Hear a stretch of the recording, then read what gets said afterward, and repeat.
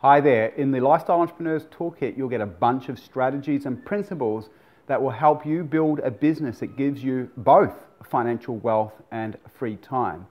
That's a business that can thrive without your constant input, so you can spend time away from your business doing the things that you love.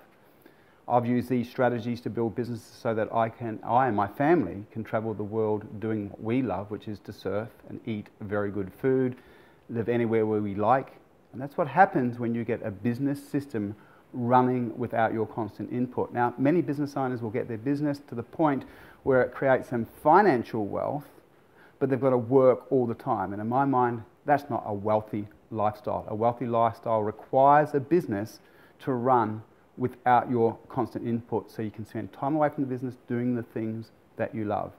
As an old mentor of mine used to say, if you can't leave your business for three months, you don't own a business it owns you. So make sure you download the videos and the audios. You'll get a whole bunch of good strategies that will help you in your wealth creation and personal freedom journey. See ya.